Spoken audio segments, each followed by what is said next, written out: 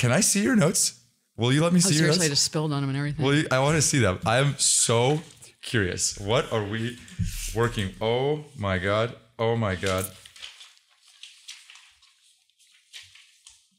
You gonna read these? no, no, no. This was just this me, just your like kind of I'm curious. thinking. I'm curious.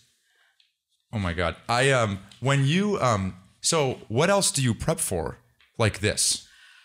Uh, so er- earlier today, I had to do a recap of Q, our last quarter for our our company. I've done a number of panel discussions. Oh, I have great stories about prepping. You know, I had to do when I was at Informatica on stage at in Vegas. Get there, and it's a revolving stage. It goes around in circles. I I like hate What does that mean revolving stage? the stage went around. It was a it was it was a kickoff. You're like in a arena and it's so you can speak to the audience? No, it would move so that they could see me every like. Right. So the uh, different portions of the audience could see There's you. like mirrors, and I'm like, it, this is my absolute worst nightmare. How much did you prep for that? Well, um, I so the VP of sales or the CRO at the time like had me go during the day, and it was a complete unmitigated disaster. So I spent the entire night walking around my room in a square, doing it the the presentation All night. Yeah. Uh, Does it make you nervous? Yeah, I'm like I was like if people say you're in what? You're afraid of your shadow when you were younger. Yeah, this is So like this stuff makes you nerve uncomfortable. this doesn't make me uncomfortable. Um Being in front of a lot of people. yeah. And um, I'm curious, when you do your prep, are you um, like, what's the goal? Are you memorizing certain things? Are there certain things that you come back to as um, points of emphasis? Like, how does your prep actually work? It's not terribly organized like that. My I think the thing that causes me to do it most of the time is and because it's for the people who work for me, I'm focused on ensuring that they get the fact that I appreciate the work they do. And I don't think I, I I I know so many great storytellers. I suck as a storyteller. Uh huh. And so I'm trying to figure out how I'm going to tell what's the narrative I'm going to tell that's going to get that point across. Yeah. And I'm, you know, I, I do what everybody else does. I compare myself to the last person I saw, and I'm like, oh, I suck at that. Or, Yeah. um, so what I generally do is like with this one, it was just writing down a lot of things. Yeah. And just think, I was thinking about things that really impacted me in my life. And Yeah. I wrote, I don't know, three years ago, a purpose statement more from like, why am I doing this now still? Um, I don't know. To your question, in that situation in Vegas, it was conveying information in a way that would be easy for people to understand. I had a situation where I did a Bessemer thing, I think it was, Yeah. and Steve Young came on after me. Uh-huh. Like It's good company. my absolute worst nightmare, though. Like, really? Because because you have to open up for Steve Young. Uh, yeah. Well, I, you know, actually, he was before me. I was after him. And and can you explain that to me? Is it imposter syndrome? Like, is it Oh, because you talk about this all the time. You're trying this I'm no. I'm, I'm genuinely curious. Like, why do you feel that way? Like, why do you say? Are you kidding me? because I think my natural state is to be an observer and to think. It's not to speak. Yeah. And, And you think, man, Steve has so much to say. How could I possibly have what Steve is going to say in my arsenal? there you go. That makes sense. Well, I will say I did love Steve Young's book, and he does have a lot of really interesting things to say. I've never read his book. Oh, you have to haven't? Read his book. I'll send it to you. yeah. Oh, yeah. I'm actually grinding right now to get him on the pod. I'm, you really? I'm working hard on it. oh, good. He's like, uh, I have a Mount Rushmore of guests. Uh-huh. He's one of them. Who are the other people? Elon, Ooh, that would be interesting. uh, Benioff. Are you, really? He's not. This is his kind of thing, isn't it? I have, and I have infiltrated the Salesforce army like deep. You know, like I know all of his direct reports. I know his executive team. He's just not. He's just unavailable. Wow. I had a I had a one on one interview with him. And With Marc, Uh huh. A long time ago. And it was to run a commercial sales business. And it was maybe 20 minutes, but in that 20 minutes, he like figured out why I wasn't going to take the job. and he called you out on it. Totally. I had a fella named Jim Steele on the show. And Jim was employee 150 at Salesforce, mm-hmm. came in as the president. Do you know Jim? I don't. I know of him. Okay, I don't okay. Know him. Yeah. Anyway, he was telling a story about how he did at least 19 interviews with Marc. He interviewed with Marc's uh, therapist, coach. He interviewed Marc's wife, interviewed him like full on. He's no joke. Yeah. Marc's no joke. No. No. You- Wow. yeah. That was a long time ago. yeah. Yeah. Oh, yeah. Em- employee 150. Yeah. That was like, Yeah, it was in that range, probably. uh, do you regret that? No, I don't. At what all. was the reason that he said that you weren't going to take the job? because I didn't want to be away from my kids. He was Uh-huh. right. He completely nailed it. And and uh, would you have been away from your kids because it was not an inside sales job? It was a managing a field team where you'd have to go out into the field and It was, territory. they were so little, and it was it was in San Francisco, and I lived in Los Altos, and I was just like, if something happened, okay. How do So I get to to 'em? You don't regret it. no, no, I don't regret it. Was it intense? How much did you prep for that one? Or at the time, were you like, "What is the? What is I this knew, I little?" knew, no, no, no, I knew about it. I knew about it, um, and I loved their marketing. Obviously, like you know, it was just everybody knew about it. Um, I was just more intrigued more than anything, and I was, I think I was at Informatica at the time. Yeah, and then I had lunch with him with my with the VP of Sales at Informatica, who just worshipped the ground he walked on. Mm-hmm. I was like, I think it's one of those weird things where that would usually be me, but because he was doing it so much, I'm like, relax. Yeah. It would usually be you Yeah. that you kind of like uh, look up to a bunch of these people that you get to meet. Yeah. When you meet these people that you look up to, do they live up to your expectations? Many of them do. Like who? Um, By the way, they don't have to be business people. oh. Oh. Billy Beane. You met him? Oh, that's awesome. Uh-huh. Uh gosh. Um now that you're thinking about it in this context, people who would Clinton, Bill or Hillary? Bill, Hillary not so much. Bill, Okay. yeah, but I'm yeah. Met your Um, expectations? just yeah watching him interact with people and how he how well he does that i mean i i you could tell that i'm like focused on that for people how how people do it kind of interacting and listening and Yeah. you know playing back back um I don't know. I'm going to just completely f- switch on you. I actually used Chris Degnan the other day in a, in a presentation No way. because he, he was an inside sales rep for me. Uh huh. And I was talking about grit. I I wasn't really specifically speaking about grit, but I was talking about when the dot com bust happened, and you, there was a sentence in one of your in your podcasts that he used. I used it when I was talking to my team about the current state. What did what was the sentence? Do you remember? Yeah, he said, um, when it happened, I sat down and figured out where I was going to go, like what was I going to do next with regards to territory, because all his com- all of the you know all of his his, went clients just sideways, died. yeah. yeah. So he figured out that he could he could cross sell, he could expand the customer base. Hmm. And then I, I he didn't say this in the in the in the notes of this uh, recording, but he actually asked me for the central region as a territory, which was brilliant. Degnan? Yeah, right, because that's This is Chris Degnan for the audience listening. Uh, CRO of Snowflake, employee number like 13 there. Yeah, that's incredible. Yeah. Oh, let me ask you this because I can't help it, and I, I love Chris is a friend of mine and uh, and Ah. like a, a role model and a f- like I'm lucky to call him a friend. Um, did you?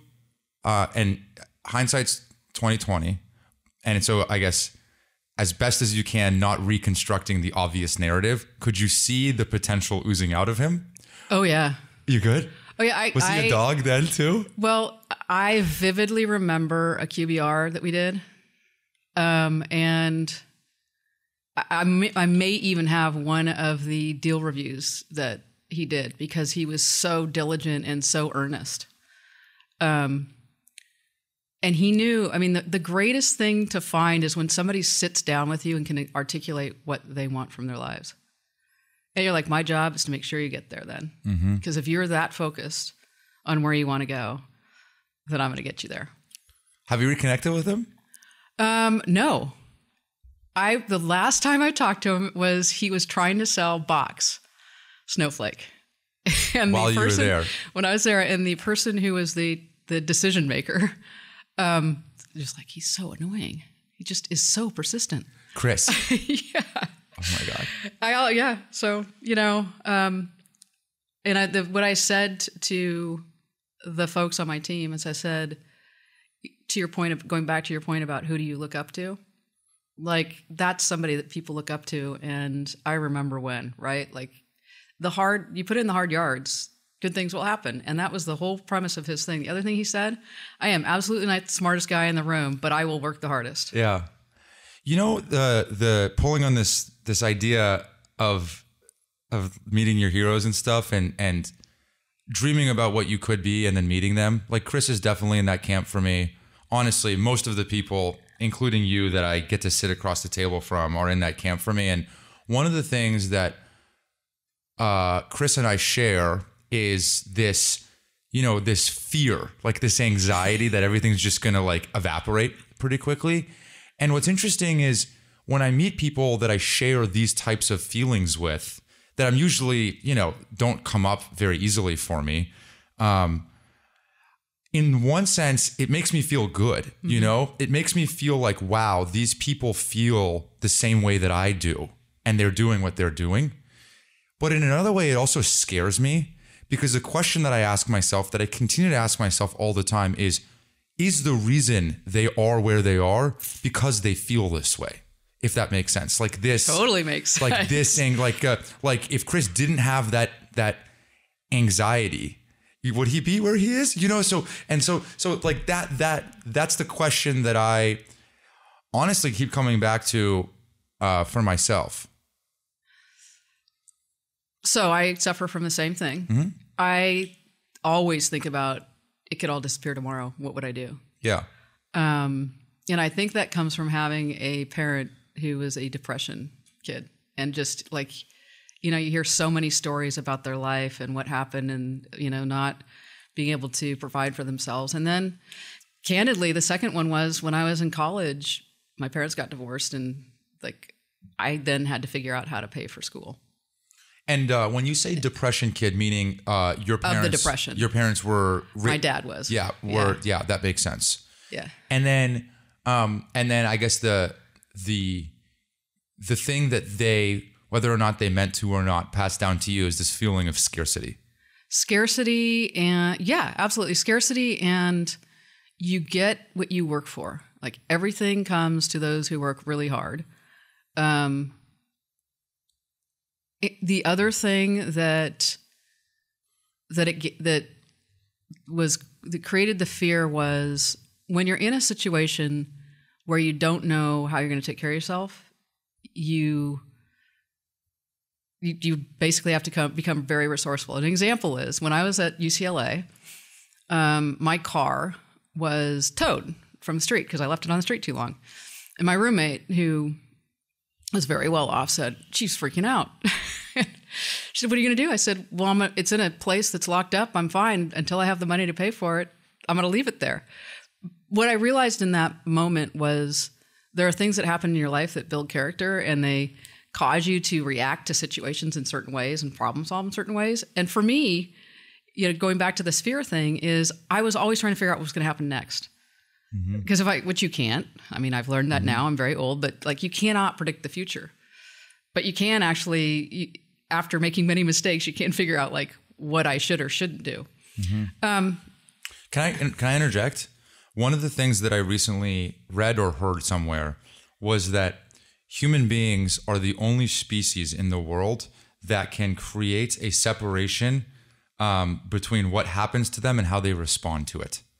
Like, uh, like if you, you know, if you, I don't know, like hit a animal or something, it'll bite you. The the way that he said it was that we have the ability to discern between stimulus and response, and we're the only animal that can do that. Yep.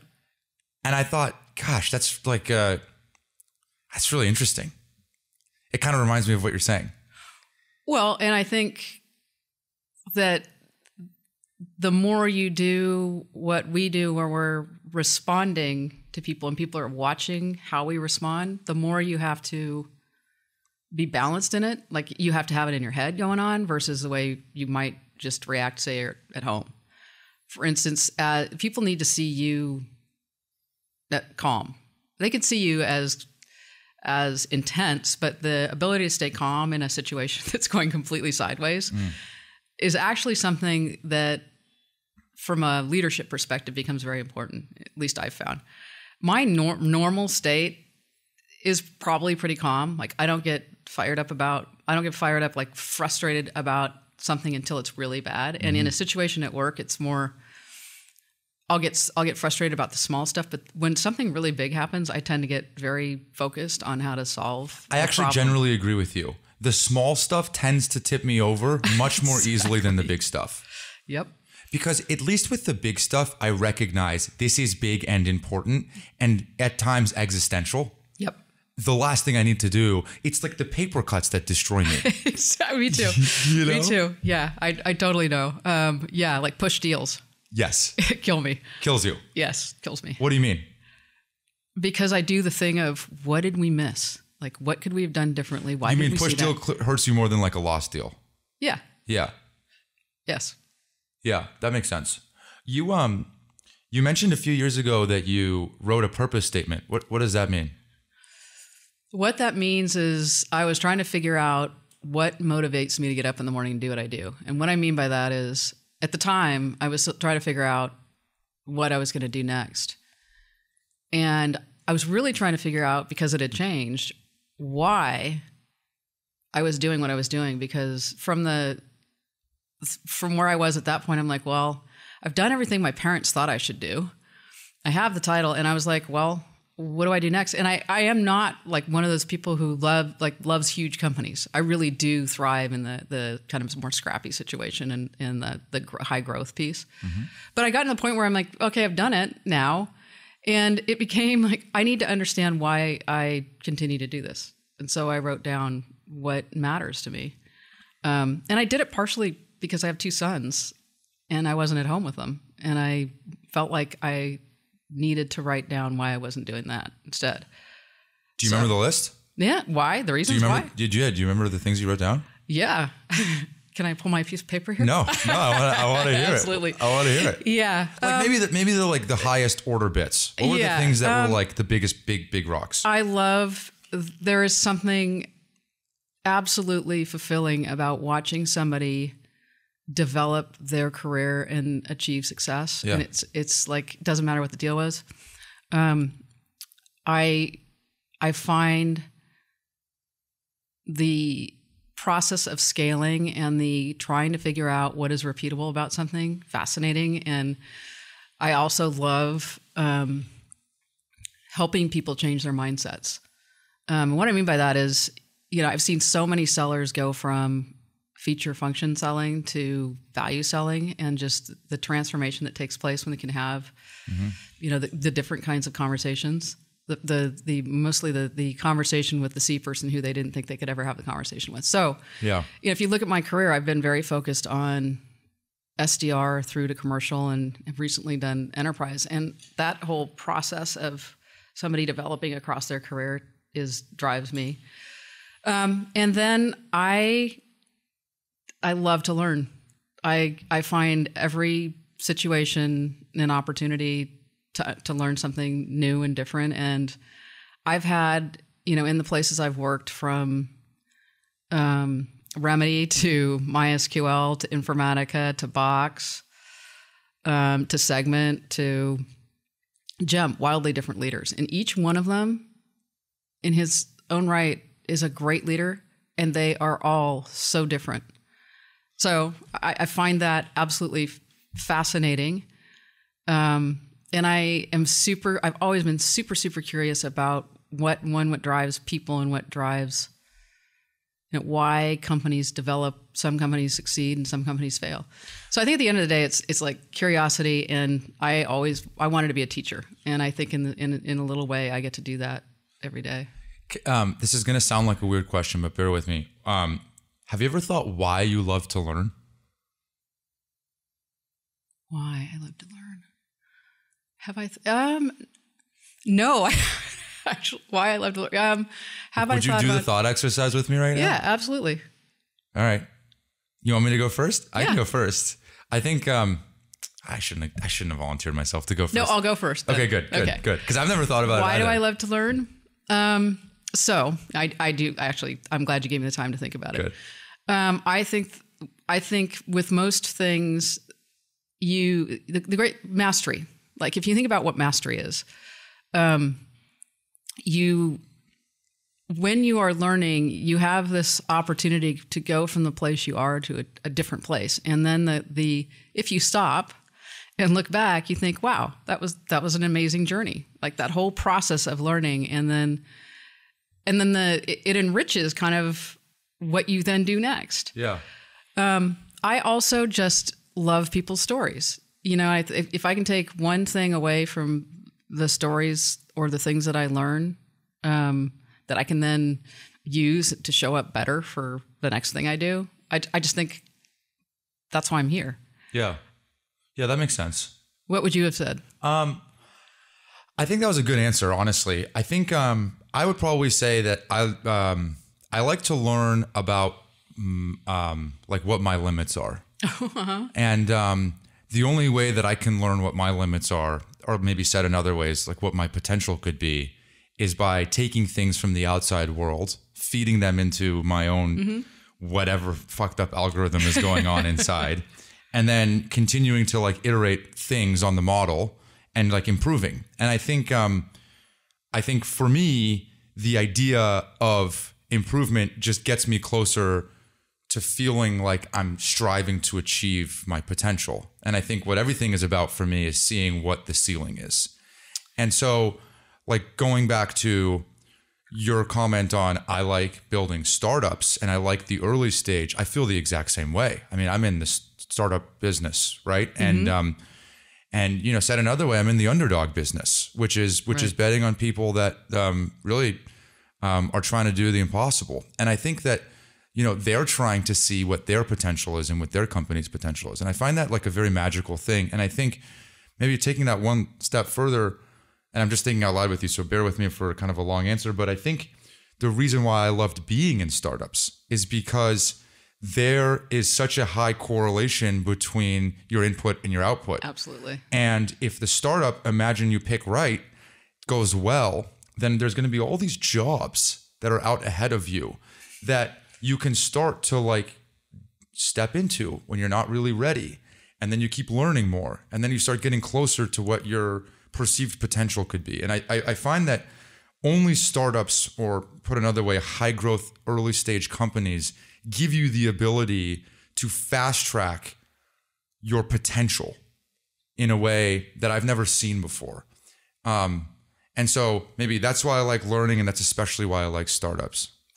Yeah, that's a great way of putting it. Um, I- you you you talk about the ceiling piece about what is the ceiling, and yeah, that resonated with me because yeah, I'm not a huge daredevil, um, but things like you know how far, how fast, how far can I push my physical limits, and then with startups, it really is kind of the same thing, which is you know how much can we how far can we take this? Yeah. and and what will it mean to the people who are part of this? And that's also the just the the amazing thing about building companies is you you have this sense of belonging or kinship slash tribe with the people you built you built this this business with Yeah.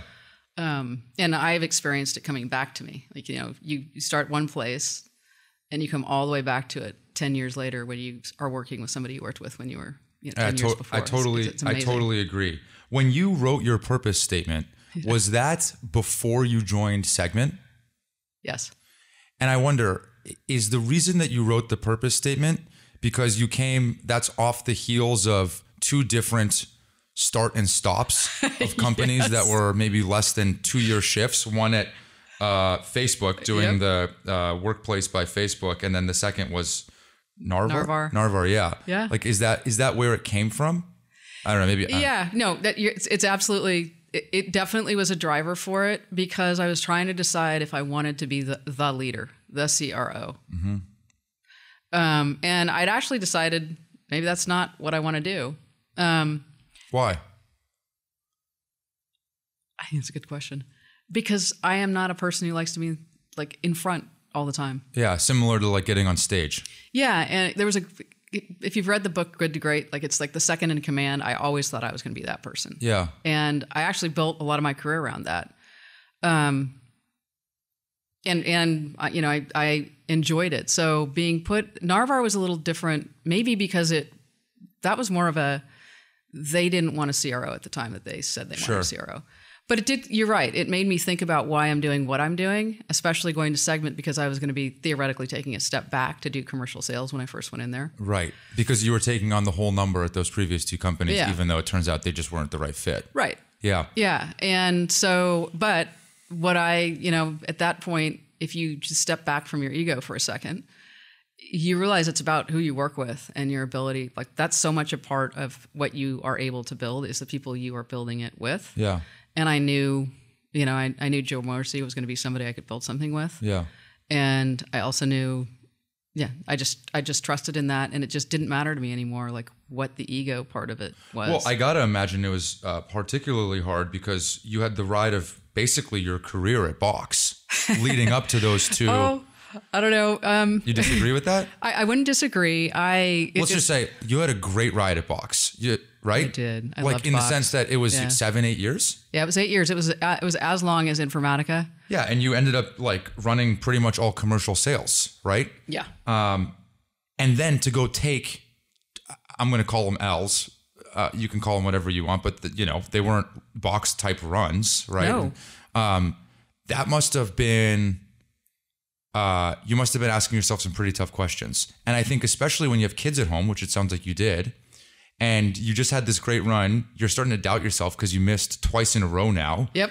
and you're like, I knew I shouldn't have gone to Facebook. I knew I shouldn't have tried to build this thing. I knew I shouldn't have been the number one person. I knew I should have stayed as the number two and taken on Yep. enterprise, blah, blah, blah. I imagine there's a lot of self doubt creeping in that's exacerbated by the fact that the opportunity cost of you doing those things and taking those L's and bashing your head against the wall, spending time with your kids, watching them grow up.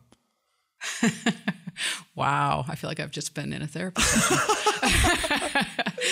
so I think to, to answer your question, I think I felt like I could finally do something that was com- wildly unpredictable when I did the Facebook thing because I really believed in what they were going to do.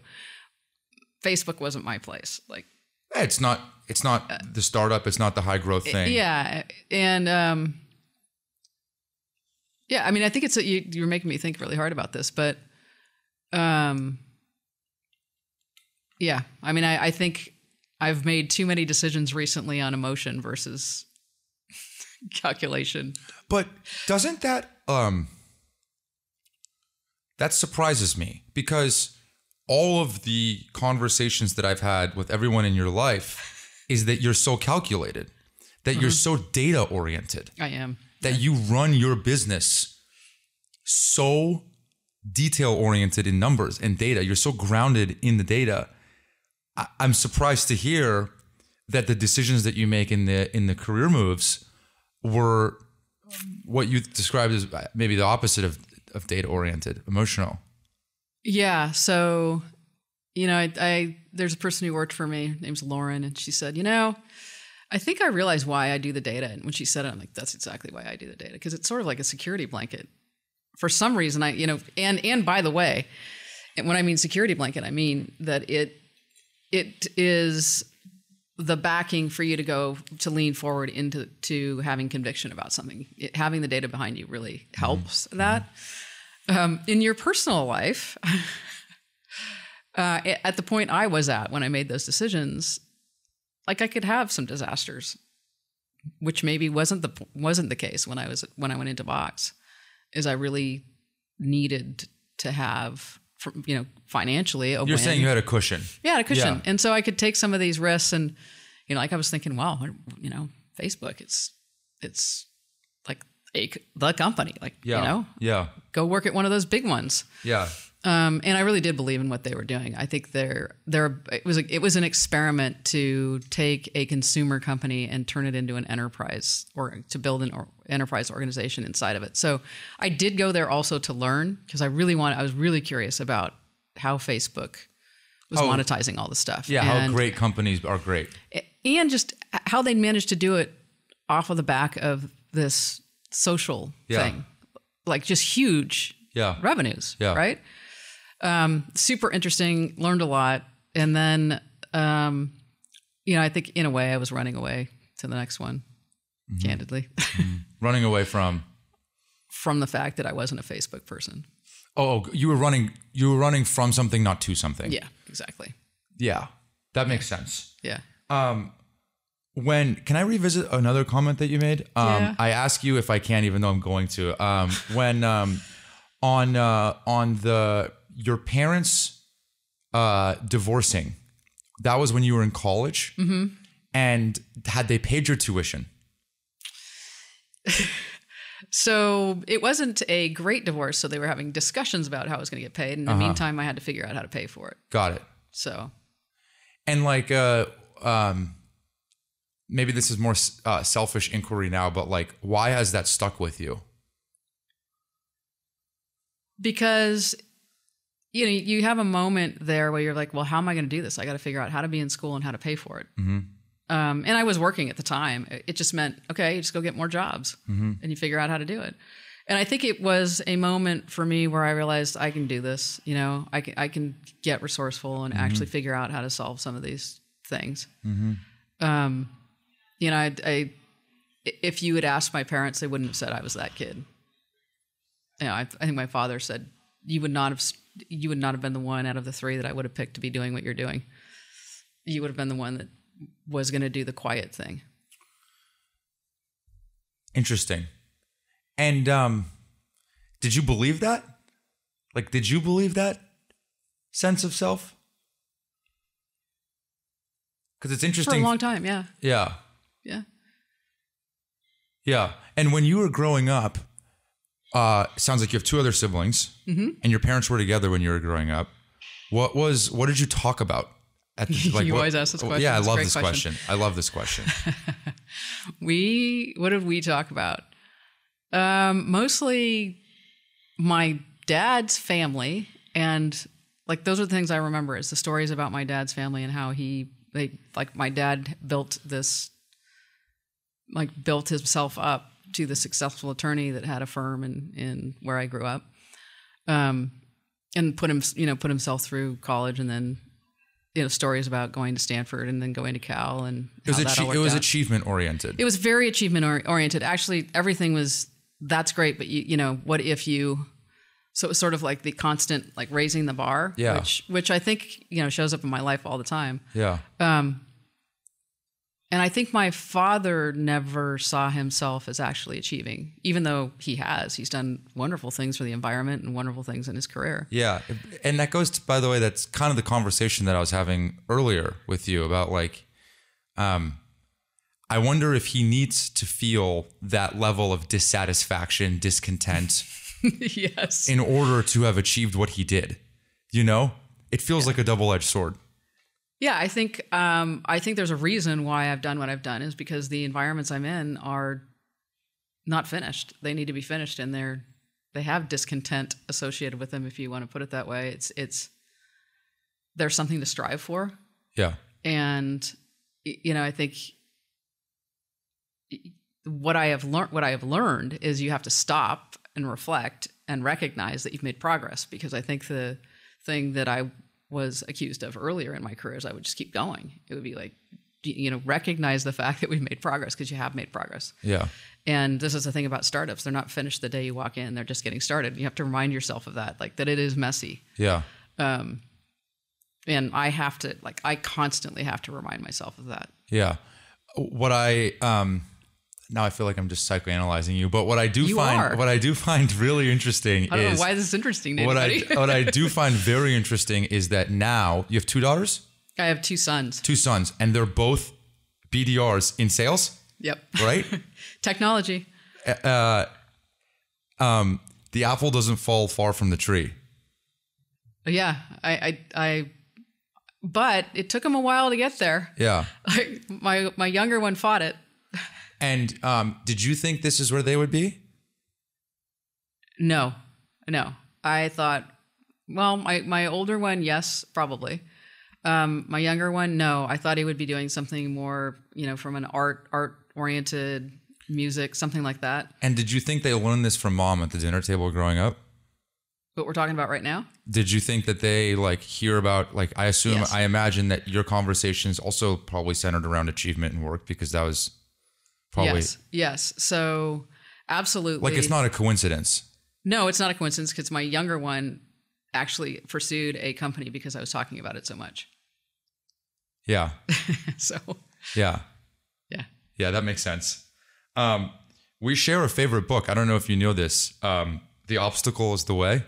Oh, Ryan Holiday. Yeah. Absolutely. Stoicism. Oh my God, it's one of your talking points. yeah, we actually are getting him to speak at our kickoff. Come on. Aren't you just jealous? Huh? So jealous.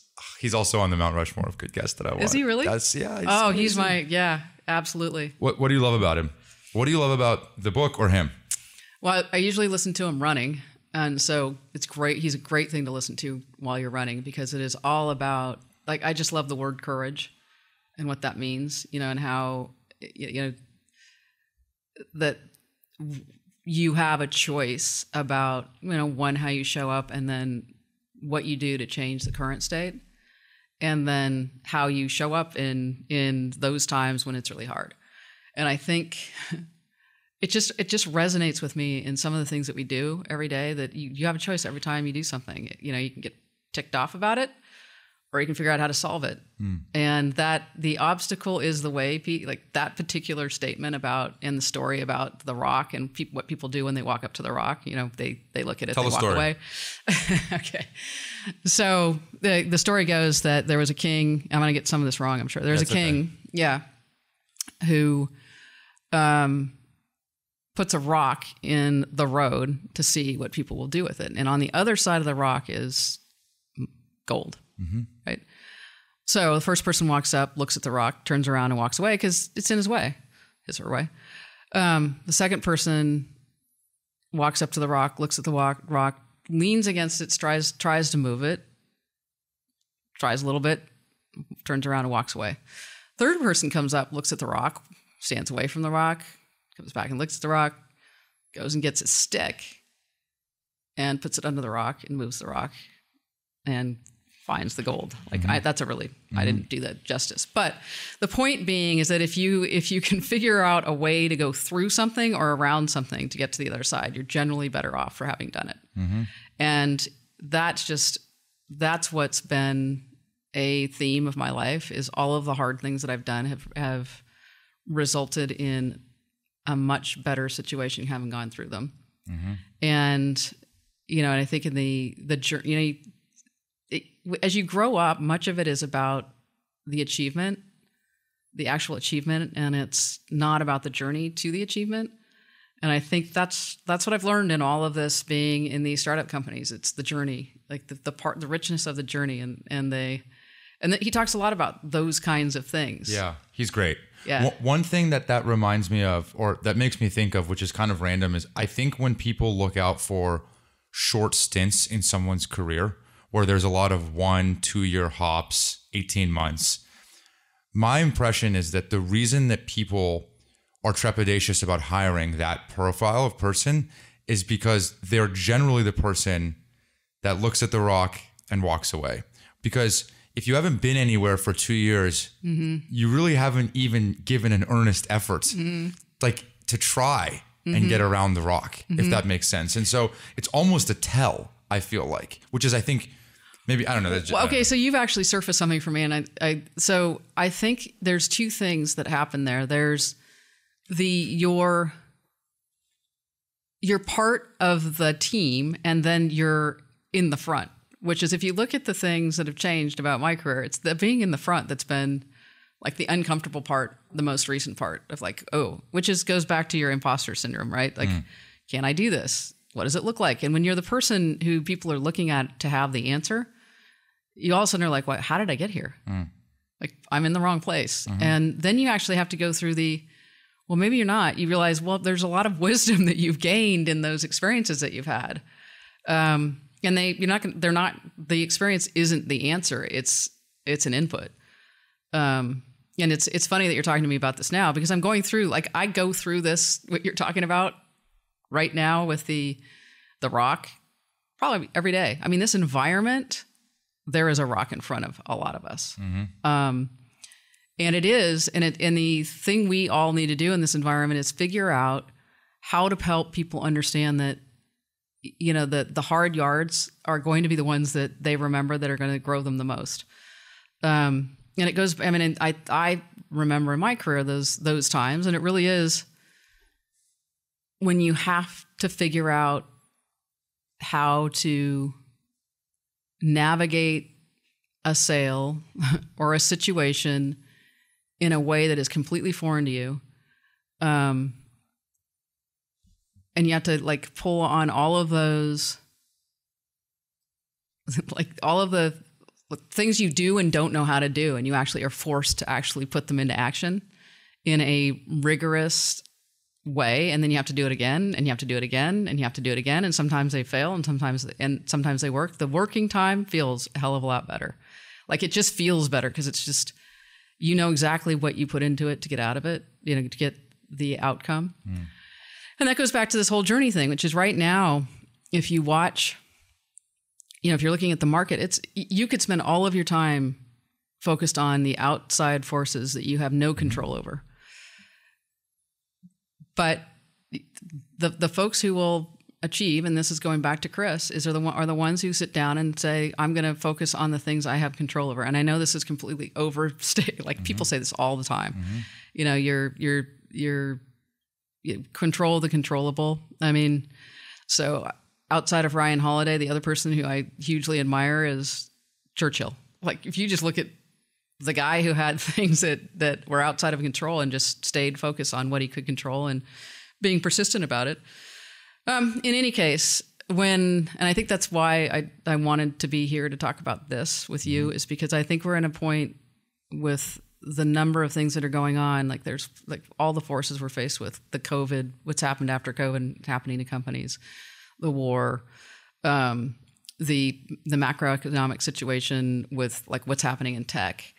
Um, is that happening outside of tech, or is it going to happen outside of tech? Those are all things we can't control. You know, um, the comment that you made about Churchill, um, one of the things that he's notorious for is his ability to prioritize. And um, and the thing that he figured out, going back to controlling the controllables, is he had an unbelievable ability to figure out what mattered, and then an even better ability to ignore everything else. Yeah, And when you're Churchill, or when you're honestly any leader going through any period of time that's difficult, it looks like a lot of things matter. absolutely. There's only like one or 2 And the ability to take something that looks important uh, and and put it to the side, like his pride, like the like, it's unbelievable. Like that's what that's Yes. that's how he controlled Yes. the controllable.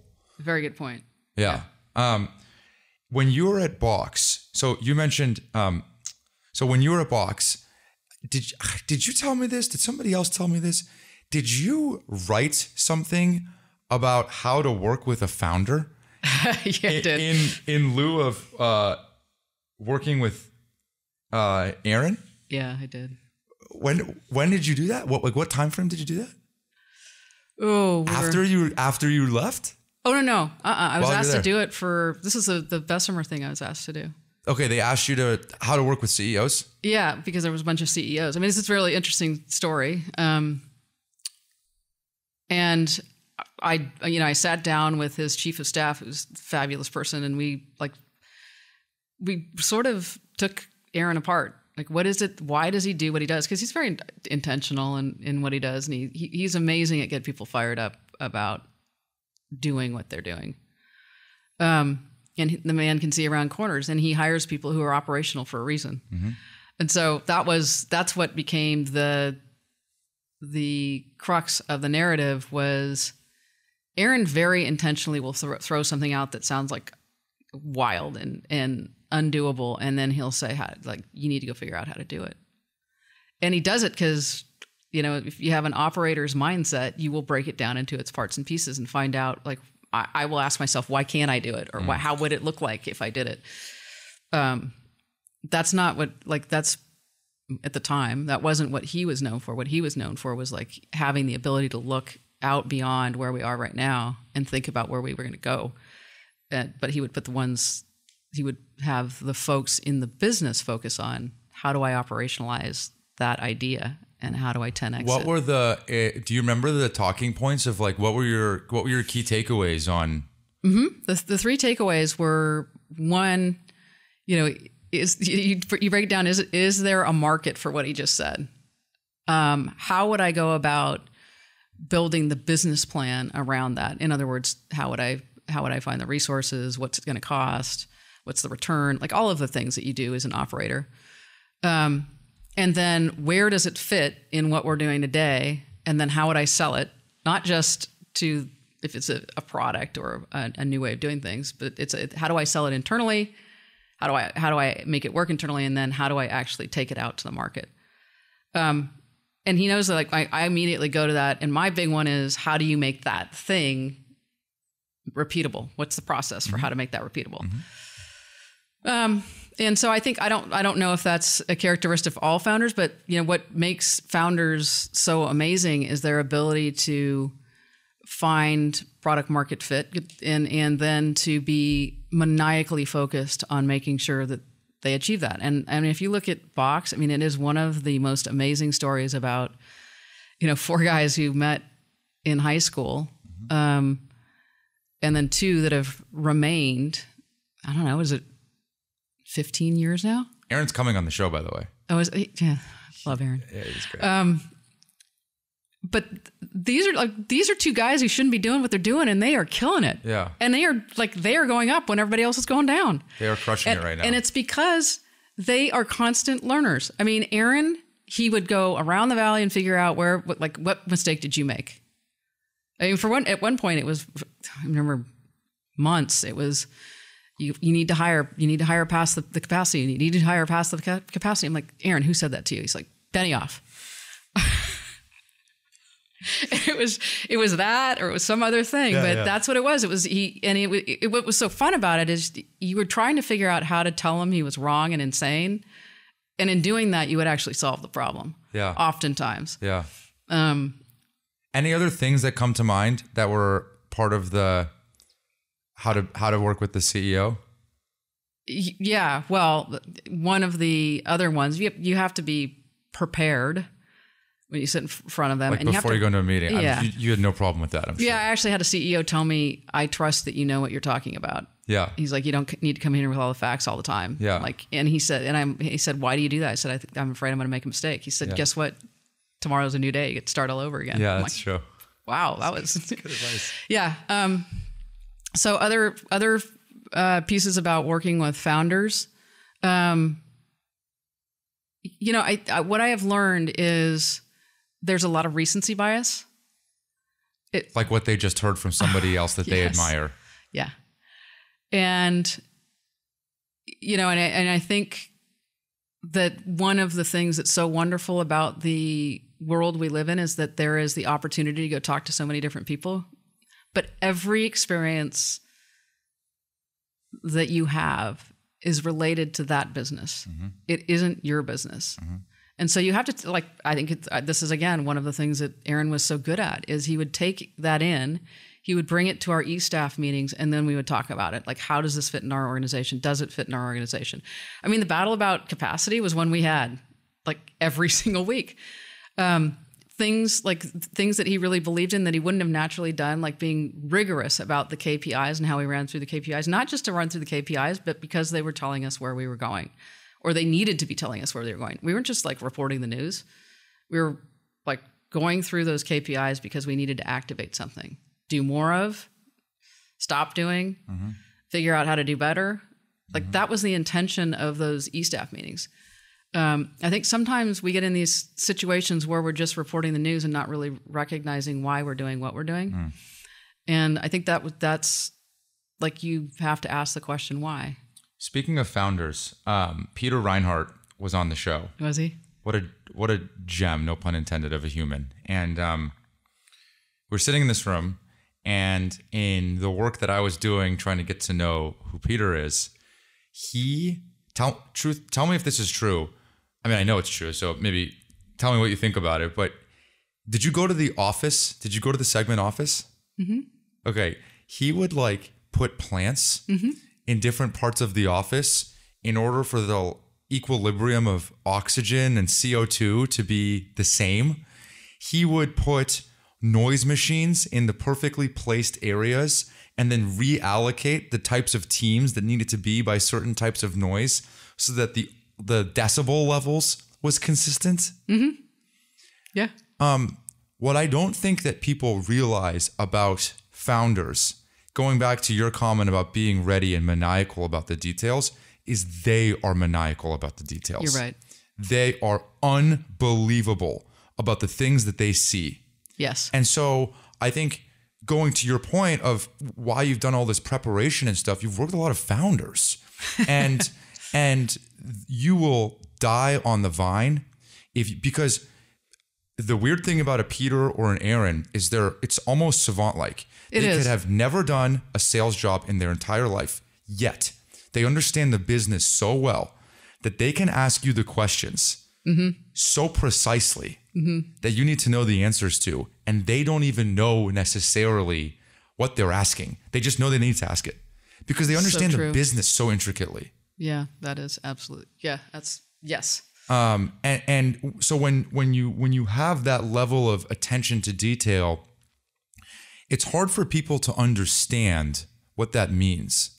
Like it's hard for people to really realize. Um, like I think sometimes they get a knock for recency bias or learning and all these things. It's um the reason why I love working with founders so much is if it's not working for you, you can quit. Yes. They can't. No. Like they are going down with the ship. That's I so admire that. And um and so when you do that, you have no choice but to be inordinate about how paranoid you are. Right? And and go into a level of detail that is unfathomable. And so I think I have a suspicion that you earn the respect of these people when they also see in your own world the level with which you go into your detail. You know, I think um, I think that is probably a pretty big unlock for you in building trust with them. But do you think that's fair? Yeah, that's a that's that's a great observation. Yeah, and I think um, so I think there's a lot like basically what they want to see, in my opinion, is that you care about things as much as they care about things, and um, because like this is not just a company they're building, this is a legacy that they're building. That's right. And in a lot of cases, this is their whole identity wrapped up into right. it. And in even more cases, in Aaron or Peter's case, they don't have this huge cushion behind them. This is like their family that they need to take care of. And so there's a lot of ways to show that you care. That's why like the things around hard work are so important to these people. That's why when you display or demonstrate some otherworldly characteristic that they see in themselves, they know that you're in it with them. And I think it's hard to explain how important that is. The yeah, absolutely. The in it with them is a critical critical piece. And to your point about that, this this is their identity. Absolutely. Um, and like the this mission to change the world in some way, like, that it is amazing. To your point about how much they know about what they know about, like the depth to which, and they will change the world. I mean, if you look at what Peter's doing now. Like what is amazing about Peter is that he had a successful business with Segment, and then he went to and he was doing Charm at the same time. I mean, that's his love, right? That's you, you described him in the in the office doing the balancing of, of all of that. That's you know that's part of who he is and what he cares about. Um, and he's a very private person. Like you didn't know. I mean, the, the closest to him probably knew, but he, the, this the work he was doing at Charm while he was also going through segment was just insane. Like you just think about the mental capacity it takes to do two of those things at the same time. Yeah. I totally Right. agree. Yeah, yeah, he's uh, he's pretty amazing. Both of those people are really, really good human beings. They are actually. Really good human beings. Low ego. And they're not always like that. No, I agree. I absolutely agree. Yeah, They are both exceptional. they are. I can't wait to talk to Aaron. You've never talked to Aaron? Uh, we've talked, but not, you know, it's different when you step into the dojo. It's, it's, di- it's yeah. different. yeah, It's you'll have fun. I You'll can't have wait. fun. I Yeah. can't wait. Um, Yeah. It's going to be a lot of exuberant energy, I think, flying around. Yeah, the first time I met Aaron, um, it was on a Saturday, and he could not sit in it. First of all, he doesn't put his feet on the floor. He sat in the chair, like he's he perches in the chair. Because Out of so excitement? energy. Yeah, it just like he just exudes. I don't. I mean, he's that was a long time ago, Yeah. but yeah, he is. He is. You can almost like physically see him. He's physically thinking. Like Yeah. it is just energy field around him, which is a you know that's why I was there for eight years because you just it's just contagious. Yeah. Yeah, Yeah. yeah. And he was, by the way, as a salesperson, he was the absolute best salesperson you could ever have. Yeah. Because he's authentic. Authentic and He's, Yeah. tr- he's trustworthy. yep, and he was in it with you. I mean, when we were closing out quarters, he was there. uh, my partner Mamoon, who did what was it the A or something Uh-huh. like early days of like before they even switched to B two B, I think. Um, the his framing for founders that he uses Aaron as the benchmark for is uh, OFB, and it, I think him and Aaron came up with this, which is open for business, and Aaron is so open Always. for business. Always. you know, he wants to sell Yes. the product that they built. And this sounds weird to say. A lot of founders are not totally open for business. No, no, I think I think you're absolutely right. They don't have an orientation around like let's go sell this thing Mm-hmm. to the world. Yep. And Aaron is not that way. Yeah, uh, yeah. Aaron loves it. Yeah, he he loves loves it. it. Like his his passion was our user conference. It was he was maniacal about getting as many people as he possibly could to the user conference because he wanted to understand all of the use cases and how he's going to grow the business and you know showcasing their success. Before I forget, can you give the the 30 seconds on what does Gem do? Yes. Um, Gem enables you to capture talent. Um, it's basically a candidate management platform. Yeah. Um, why is that important?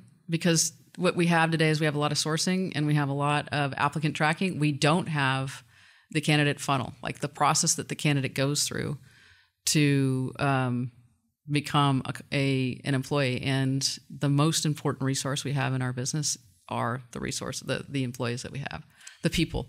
So it, what it does is think of it as a um, sort of like a CRM, you know, a sales CRM. Yeah. It's a candidate CRM. Yeah, that's how I think about it too. Yeah. That's the, that's when I was doing my work on it. That's exactly how it uh, came off to me. Yep. Um, and it's it's relationship oriented, similar Absolutely similar to a CRM. Yes. Um, pipeline management, the all candidate pipeline Exactly. engagement, personalization. This is a over a billion dollar valuation. You pick your cool venture capital firm, and they're probably on the cap table. Yep.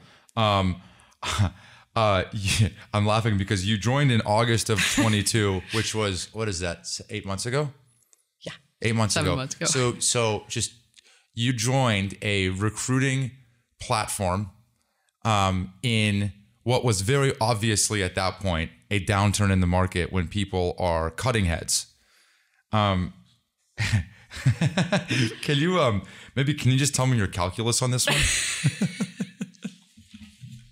Uh, you had to ask. I could help. Um, uh, yeah. Um, so it's a long game.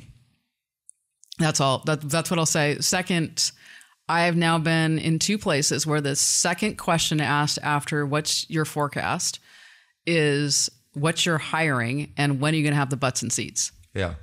so you know the the talent is timeless and this if you're not focused on high tech high growth companies the war for talent is still there um, it goes to the comment about is it harder it's harder yeah absolutely is it like was it My timing sucked. Absolutely. Did I know that it probably sucked? I did. Do I believe in what we're doing? Absolutely. And at this stage, like I really believe that we have an opportunity at GEM to change the way that companies engage with talent. Mostly the relationship between the recruiting organization and the hiring manager. Yeah, I, I think that makes sense. Um, But why now? no, no, the why now, like, uh, honestly, the why now, maybe not to put words in your mouth, but it's like, let's go back to our framing of, um, you don't even know if you can get around the rock for three years. Like No, we're exactly. we're in the we're in the like not even second inning of approaching the rock. That's right. Um, and so um, at this point in your career, um, you know, it's you've had your like really good runs. Like you, you've made great money. Like your you, your kids are in school now. Like you're doing this for a reason. Yeah, you know, and there's not going to be that many more. There's not going to be that many more. And so um, when you do one, you might as well take a long term orientation towards it. Yeah, and I have to say, And by the way, sorry to interrupt you, but like, let's imagine this thing comes back, and let's imagine this thing comes back in the way that we think it will. Like, guess where you are? Like in position A. that's yeah. You you did a podcast with Procore a couple days ago. Yeah, yeah, Dennis. Yeah, Yeah. So, so I remember when Procore was very small, and your your story there was like, hmm, that sounds like something that I'm planning. Yeah. Something that I think is going to happen. I really, I think that finding the right talent at the right time is one of the hardest things that any hiring manager does. And I think Gem is onto something. Now, there's like lots of hard work to do, but every single one of these companies has lots of hard work. I, I mean, you can look at Box the same way. exactly. Look, and and you joined Box in uh, 2011. Dropbox was killing us. 2011. You could say uh, 12 years later, it's just now inflecting. It is.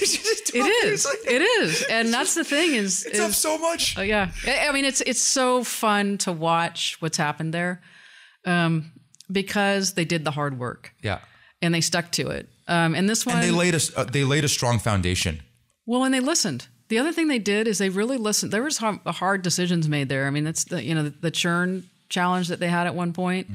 You know, watching Google and Microsoft come into the market, like these big, huge companies come into the market, um, figuring out how to build a platform. I mean, I, I think that's probably part of it. Is I can see some of those things now that I couldn't see earlier in my career. Totally. And I really believe that this candidate management piece and how we create relationships with candidates is going to matter. Like, I'm going to ask you how many people, how many times have you had to go through your email to try to find the person that you wanted to talk to that was so great or your your connections because you didn't have it somewhere that you could go back to easily you know that you you didn't have the the, the way that you came and, and engaged with those people was like when there was a moment that you had to have you had to hire somebody this enables you to have a talent pool always available to you and it enables you to build the relationship not just for the moment in which you want to hire somebody but for the for the to actually build a real relationship that is timeless Lesley, I'm curious. Um, Mm-hmm. Does does Gem do anything um, unique in their culture around recruiting? Like oh yeah yeah that's why i'm there anything that? Yeah, tell, tell me like what like ah yeah i was i was not going to do this again like you were done. i was done i was like, at least going to take time off you know um and you had a great run in Segment i yeah i mean I, you know acquired by Twilio. acquired by Twilio. I mean, well, but yeah, I mean, I, still out on honestly. I was looking for another box. I would have stayed there for a long time if it was if it hadn't gone through the Twilio acquisition, which was great. Yeah, Don't get me sure. wrong, and was uh, you know great experience. You know, but not for me long term. Yeah. going back to what I love to do. Um, and so yeah, I was I was thinking like I'm going to go travel and do do other things, and but I met Steve, and Steve is an amazing recruiter. Um, and it is amazing, you know, folks who are are pretty early on in their career that are just like the CFO Susan is freaking rock star. So that's the other thing is you look at this talent and you think like we could build something really great here. Yeah. And then just the way that the the team has showed up as far as in a very tough environment taking on a new CRO, it's like it's hard to have a new CRO, but the way that they just show up. So, Why was Steve an amazing recruiter? Steve's the founder, right? Um, be, yes, he, he's the founder, and, CEO. because he was so persistent, and because of the way that they communicated with me. Describe the persistence. It's what you said before. The level of detail he had about the business and that he was willing to share with me was like unheard of, like compared to the other places that I have been, and and his authenticity um, and recognition of where they were and where they want to be was it, it was just he was super candid and and the process they took me through. I was actually uh, at an offsite in Boston. I was like, I don't have the time to do this, and somehow he managed to get me on the phone for five hours to do interviews. And I was like, not even looking for a job. It's because I was so interested in talking to the people. I'm like, I might be missing something. So it's that it's like, hmm, what are you missing? And because I I think he also caught me at a point where the problem that they are solving was so acute for me because we'd gone through a situation with Twilio where we we we had an overlay and then we decided to um, kind of have Twilio or Segment go back to being a direct of sales force, yeah. which meant that I had to like turn around and hire 100 people.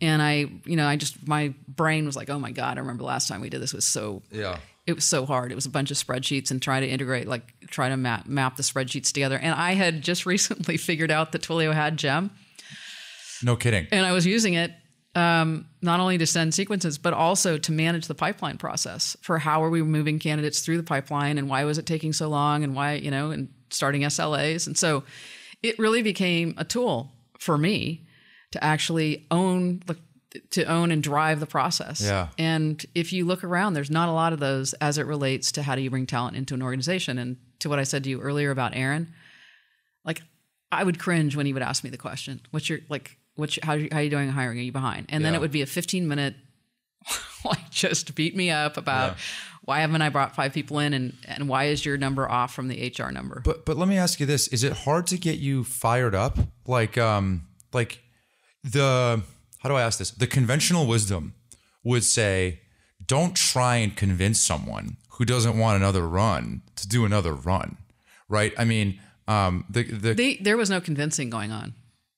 But I mean like uh what is it that like uh how do you get fired up now?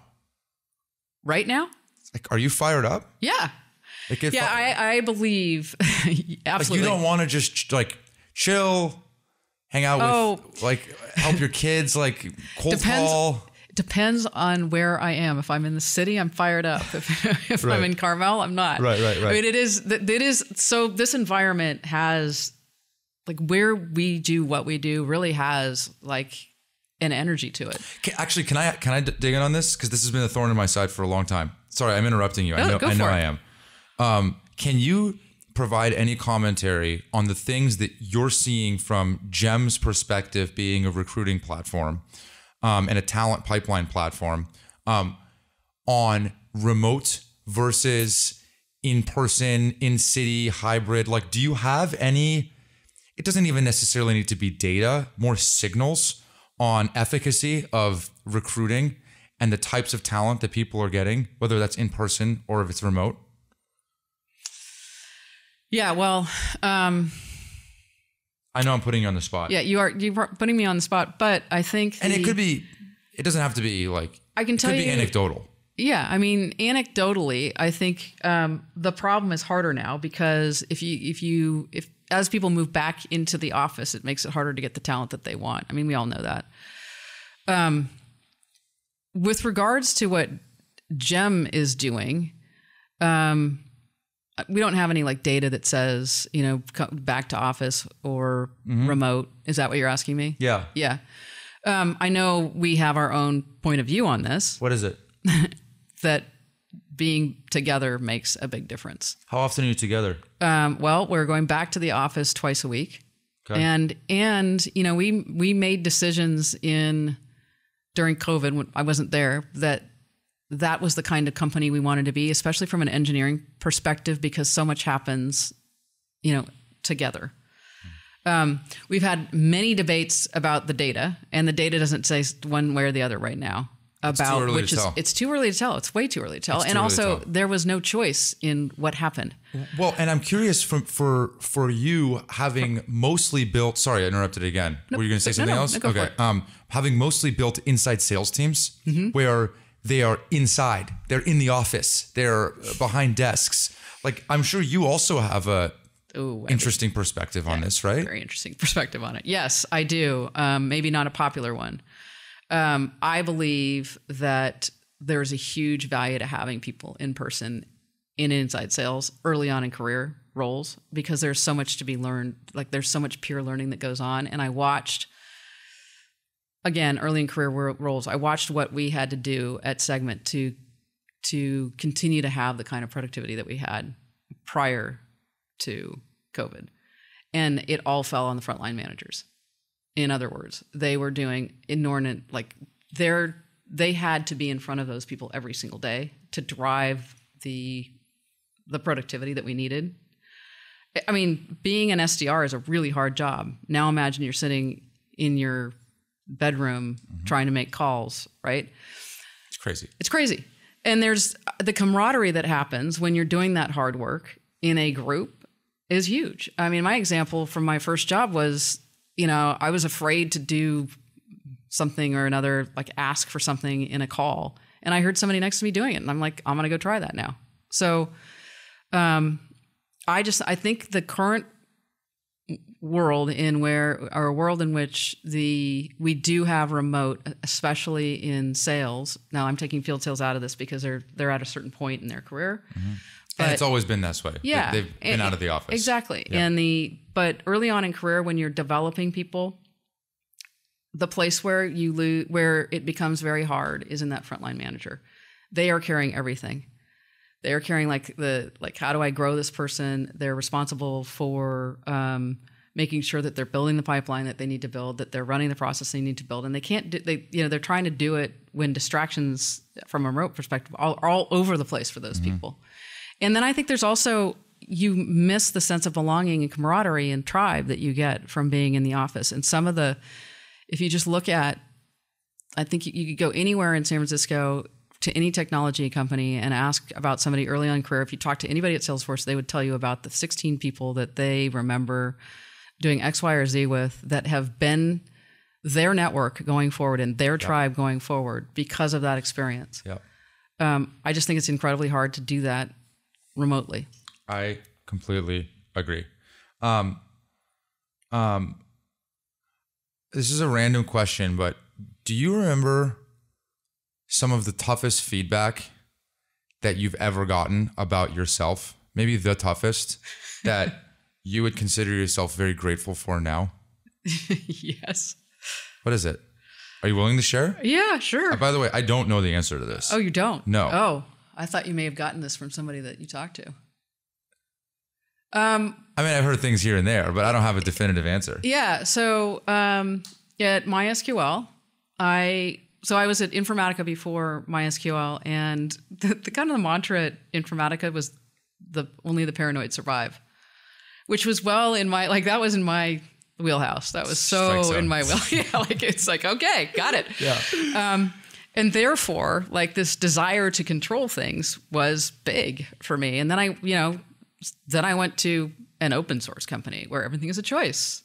Our customers have a choice. We have a choice about how we actually what we do, what we how we do what we do. So, you know, I can be forever free, I can be free for now, or I can be a potential buyer. I'm just going to use that as an example. Mm-hmm. Well, imagine that that culture was in like that's the culture, right? We have a choice and we choose what we do every day. All right. So then I come in after the paranoid survive kind of culture uh, to a remote sales organization because MySQL was one of the first companies that was all remote. So we had folks in um, Idaho. My whole team was in Idaho.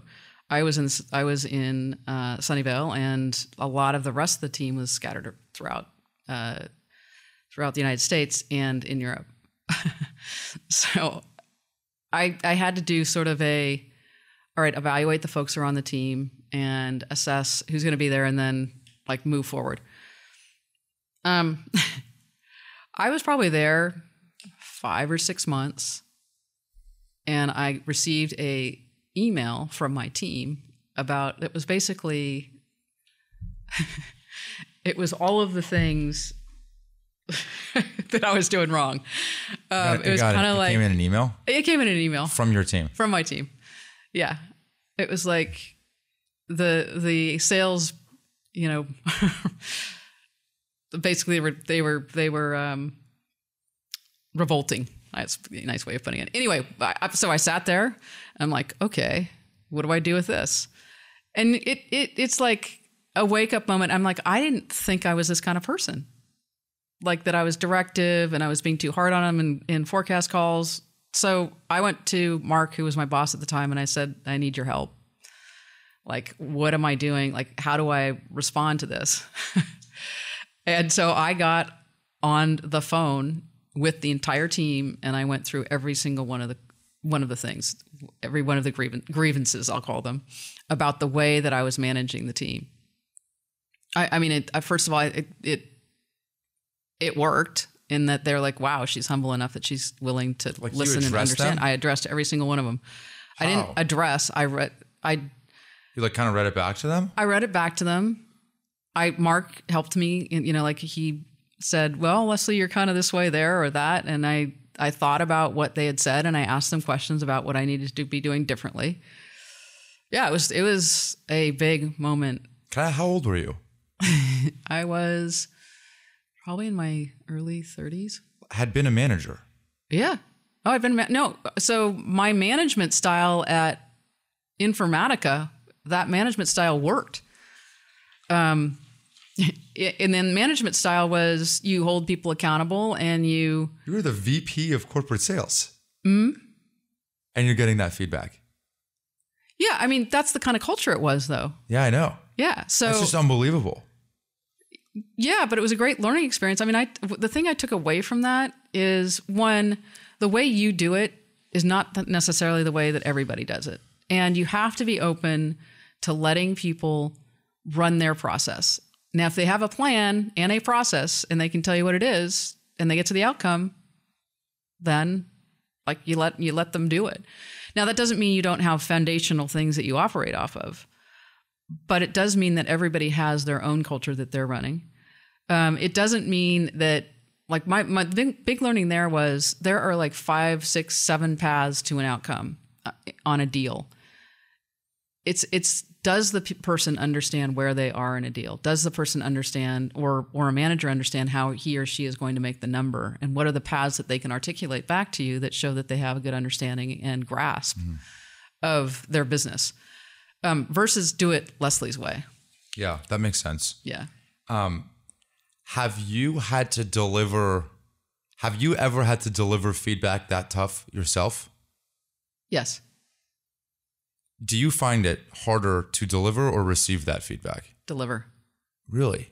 I I, I thrive on con- constructive criticism. It, it is like I, I am very uncomfortable when somebody doesn't tell me hard feedback. Yeah. I need I need because it. you get scared that you're not learning. I get scared that I'm not learning, and I get scared that they're not telling me something. Right. Like I'm super paranoid all the time that I'm not doing a good enough job. Yeah, or that you're missing something. That that's right. That I'm missing something.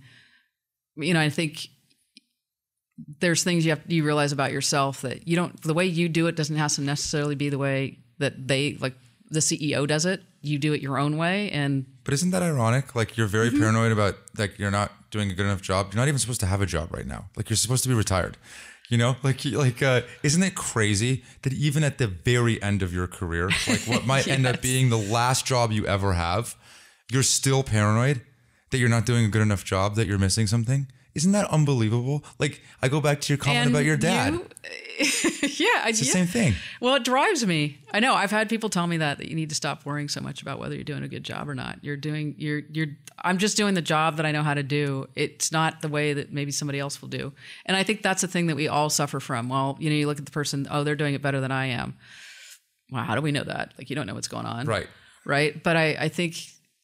Yeah, I think it's it's it it is a driver for me. It always has been. I don't know where it comes from, candidly. Um, on the giving someone feedback, yeah. obviously don't say the person, but do you remember the feedback you had to give them? Oh, I've had a couple different ones. What do you feel like? What is the like? Are you sick to your stomach before you Absolutely. have to deliver it to them? Absolutely. Like I, in if, a way, I am, but but you think about you think about the benefit they will re, will get from it Like if how they you received it. internalized it. Yeah. Yeah. And I've watched people really take on feedback and change the way they show up. Um, and then to, to what I was saying really long time ago at the beginning of this conversation is that that's where people grow. If they take that on and they're willing to be coached, that's where all the growth comes. And I have had, I've had people come back and thank me for that. I've thanked people for that, for the feedback. Um, I, yeah, I have one story that's probably the one that's stuck with me the longest. I had to, I was at a point where I had somebody in the business who had gone from just killing it to not showing up, like kind of not showing up, like just mm-hmm. surviving. And I finally, I called in my office. I said, "Hey, I need to ask you. Like, I am in a position where I have to let you go if something doesn't change." And I'm like, I want to, I want to understand what hap- what's happening. And I think you need to do if you like you need to do that. Like you need to to ask the question because in this particular case, this person was staying at the hospital every night because he had a uh, sick sister, and she was afraid of being alone. So he was exhausted. He was couldn't function. And I mean, and what he said is, "I will, Lesley, I will do whatever you need me to do. I just need to be able to do it in different hours." And I said, "Okay. Like, what you're going to do is figure out like how we're going to build the renewal business for Informatica and off of spreadsheets, and it ended up being an eighty billion dollar business in four years. I mean, it was Wow. million, not billion, million. Wow. Um, but uh, you know, and I went to his his wedding, and his parents came and thanked me. Wow. Yeah. So I do think going all the way back to your question about feedback is as much as it feels painful and you're worried about how they're going to react to it, and you have to think a lot about like you have to have very specific examples of what's the behavior and and it's uncomfortable, um, but it's well worth it to give it to them. Uh, I could do this for hours if you wouldn't believe it, but it's been an hour and a half. Was it really? Um, I um, I um, I want to change up the question uh, that I normally ask and ask a derivative of it because I know that you've already prepared for the "What does grit mean to you?" question, and so um, maybe the question that I want to ask you is: um, Do you think that um, it's nature? Do you think grit is nature or nurture? Do you think it could be taught or do you think it is innate? Oh God, that's so hard. It's sort of like will, right? It's like, yeah, I. Well, oh, I've watched people change, so I think it can be taught. I I I think if people understand, like at the heart of it, and are not, they learn that making mistakes is part of the process. Because I think a lot of grit comes from people not being afraid and having the courage to do things that they're uncomfortable with and to stick with it. And so if if you give people the agency to make the mistake or to, to do the thing that they're so or to face the thing that they're so afraid of, then yeah.